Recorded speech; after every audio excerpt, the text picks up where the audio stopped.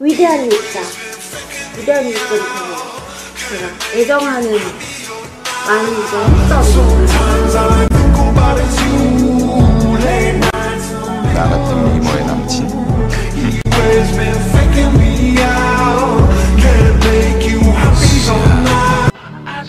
왜?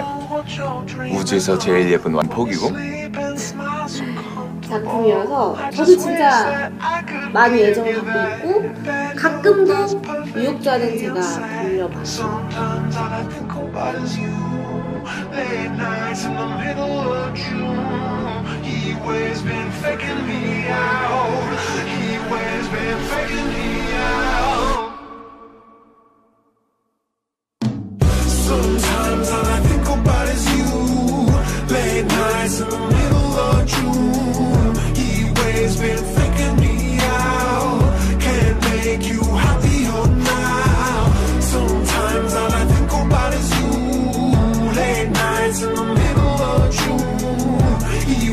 been faking